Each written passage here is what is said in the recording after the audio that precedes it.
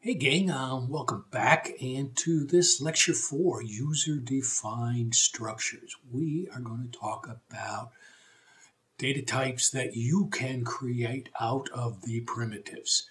Uh, we'll take a look at the row type, uh, V-array, which behaves very similar to an enumeration or an array in other languages.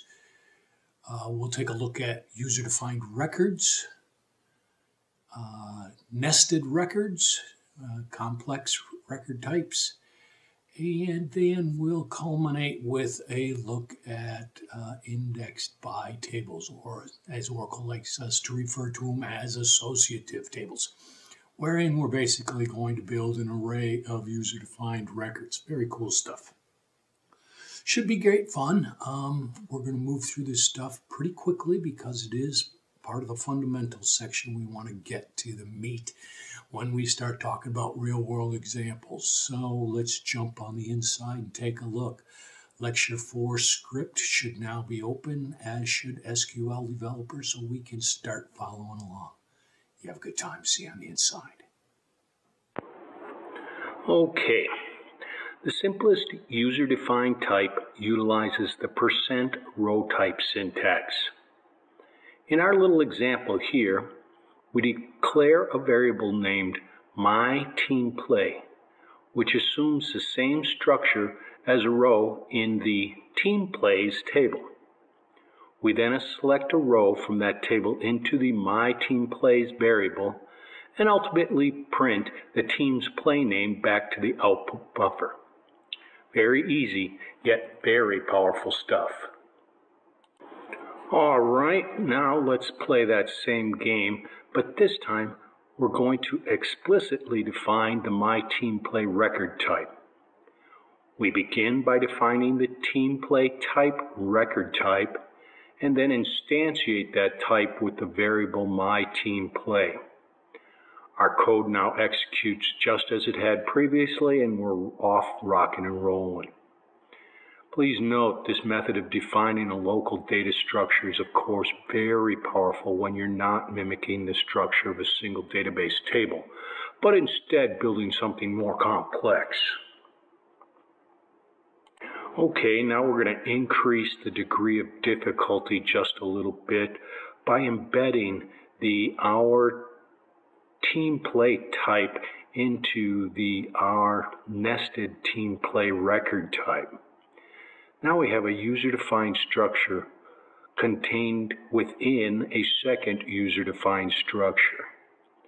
Not surprisingly, PLSQL lets you play this game to any level of complexity. Hey, did you notice how we also had to use the instantiation variables to two levels in order to reference the team play name variable? Got it. Dot notation can be your friend when used properly. All right, enough on user-defined record structures. Let's move on to V-arrays.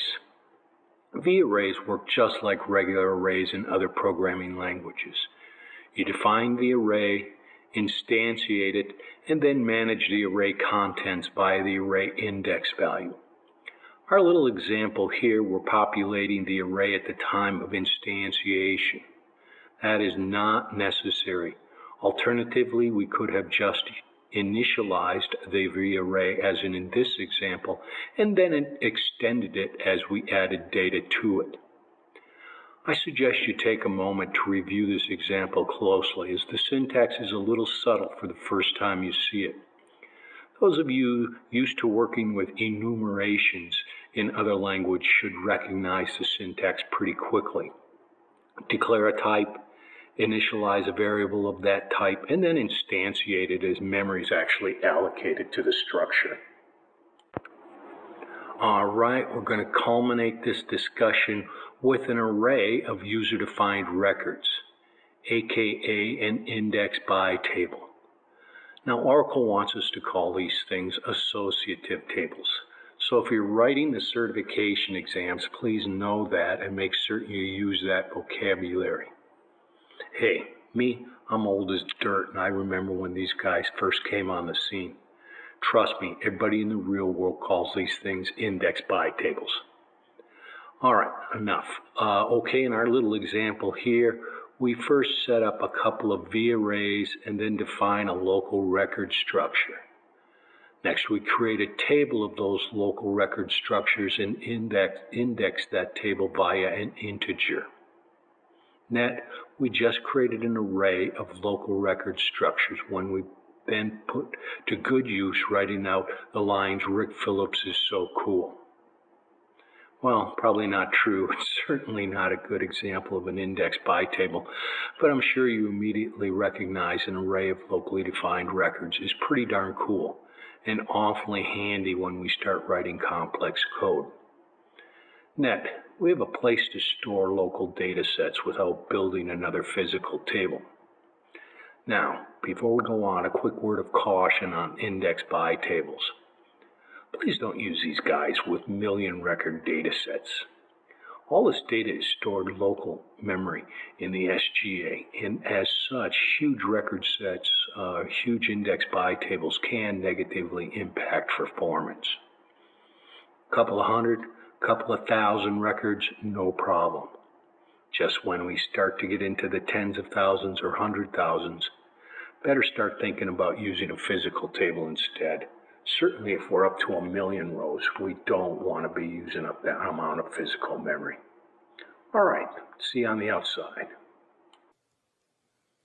All right, I hope that was educational and you had some fun in there because um, those are the really the structures that we're going to start utilizing when we start looking at real world examples. We're going to have to know this stuff down cold because uh, we're going to be looking at real life code. And this this stuff is just part of the basics for getting that done. Uh, so what we learned?